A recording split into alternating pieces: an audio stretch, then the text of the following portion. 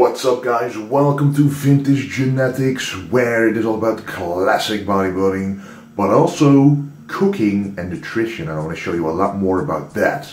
So on my Instagram at Wesley Vissers I always show you guys my omelets, my morning omelets for lowering your carbohydrate intake on a day where you actually want to spend the carbohydrates later on a day or if you simply want a simpler low carb day. So let me show you how to make a delicious omelet, how I like to make them and how to make them taste incredible. Let me get to the cooking. First of all, you gotta have a good pan. This is a flat non-stick pan. It's great for omelets. It's quite big as well. So the first thing you gotta do is add some Pam spray on top. This lowers the calories, but it enhances the non-stick factor of the pan itself. All right. What you also want to have done, and I shouldn't have put it on before, but you should have it on pretty low heat. It's on the lowest possible heat right there. And this is the temperature that the pan it should be. If it's too hot, the omelet will fail because the bottom will be burned and the top will still be liquid. That's not what we want. The first thing we want to do is actually add some vegetables and I'm going to add some mushrooms. There are different kinds of mushrooms, but they're very easily to cut up. This is a Dutch word for it. If you guys know what the English word for it is, uh, let me know. But let's add some mushroom first to stir fry them. Basically let them grill on this pan right there to make sure they have a nice taste already. Alright, so this is about 75 grams of mushrooms cooking away. As you can see, starting to get a nice color on them, starting to enhance and release their flavor. And then it's time to add the next vegetable. So this is going to be very easy. This is a spring onion. This gives off a very um, strong flavor. So you only want to add one of these to your omelet, but it enhances the flavor by quite a lot and very easily. I'm going to cut it up with this once again, making it a very quick meal. Right. Alright, now that we have that frying away, you've basically got a couple of options to add your vegetables. You can add bell pepper, you can add tomato, you can add zucchini. Just make sure to add vegetables that have low carbs if that is your plan. However, you can also make it a lot easier. Some people just add spinach on top of this. Make sure the spinach is actually, you know, releasing its water content, getting less in volume, and then adding the eggs. But I'm going to add another vegetable because I want to be full for nice and long as it's early in the day. So let me show you. So what I actually got from a store is um, stir-fry vegetables, Italian stir-fry vegetables. There's actually already mushrooms in there, spring onion in there, but also a very healthy kale, which is a leafy vegetable. And the volume of this will go down tremendously once you put it in there. So let's take that to the test. There's also some healthy broccoli in there. I personally love it. It's not the most convenient vegetable to put in an omelet, but you can make anything work whether you like it or not. I mean, you can make anything work when you like the vegetable. Put it in and you'll see the results. So I actually added about half of this. This is the kale added, some extra mushrooms, some extra spring onions, some extra goodness to this. And you just wait for a little while and it gets a lot less in volume. And I'm also going to add some extra spinach, some leftover spinach, because that uh, goes down in volume quite a lot as well. And I do this because the first thing of the day I want to keep full for like three or four hours. Vegetables really do help with that. And they're all low carb vegetables, but very healthy as they are green vegetables. So make sure to get a big pan to fit all of it in. Alright, so with the vegetables frying away, losing their volume a little bit, allowing me to add the eggs, I'm actually going to make the eggs for the omelet. And you can do that in a special way.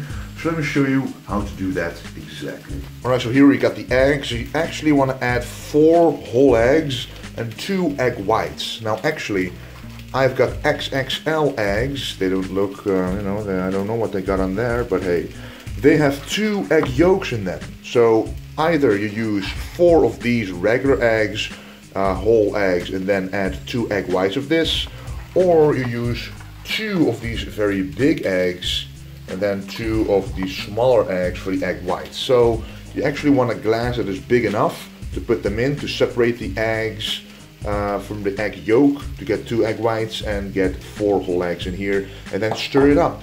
All right, so now that we got the eggs in, the four egg yolks, and the six eggs, egg whites. Basically, you want to stir this up to make this uh, um, a monotone mix to put in the pan so it's much easier to make the omelet. So put your fork in here, to stir it up like this until it becomes a nice even mass to add.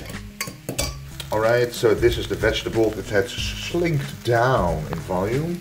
This is what we're going to add, this nice liquid right here. So you have the fork, actually add this to the vegetables.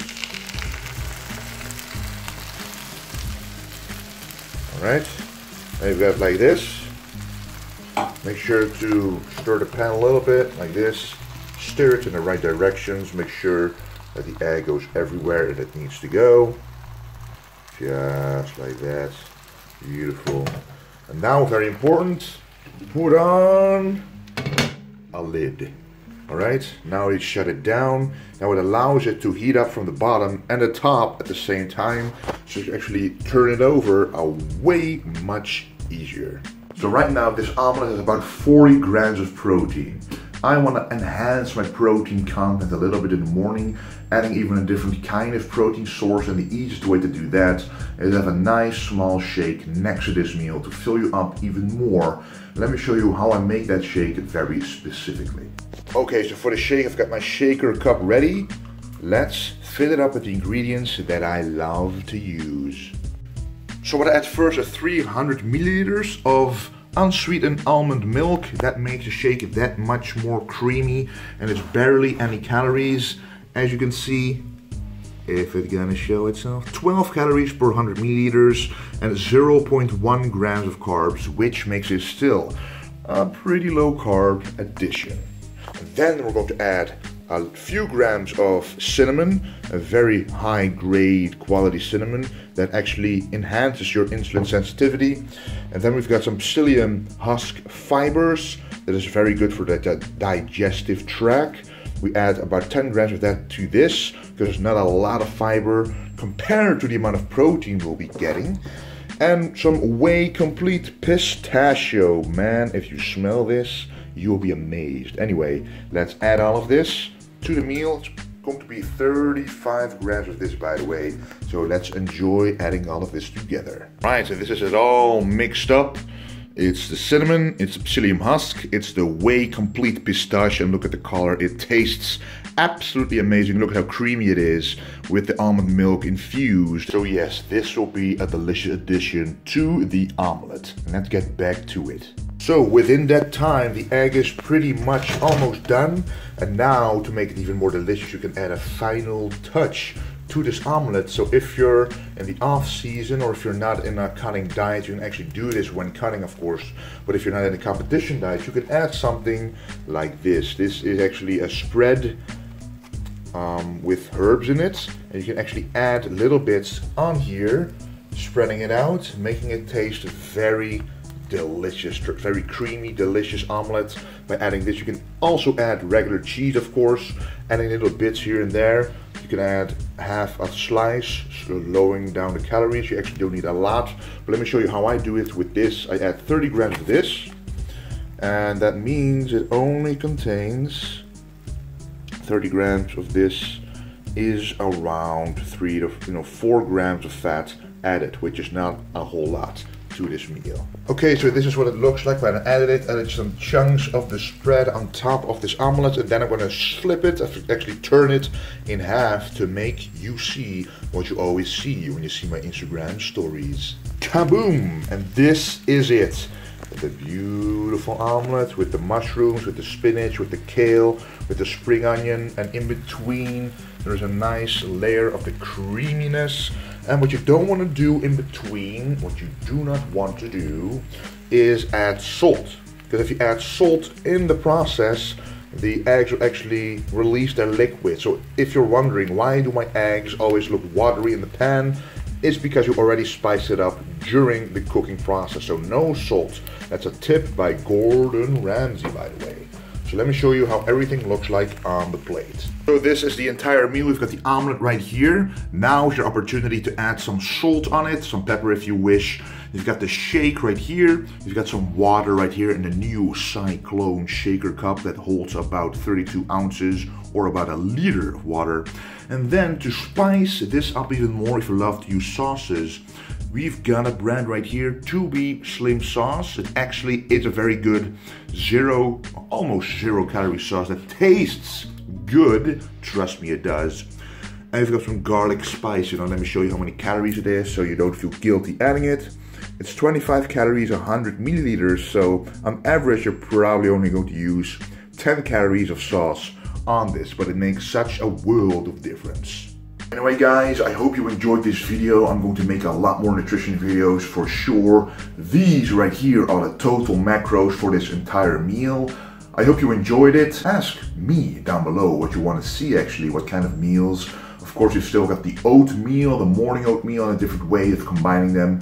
The oatmeal hacks to make them look a lot more voluminous than they really are with low calories. There's so much more, guys, but I want to thank you for watching, and do not forget to stay golden.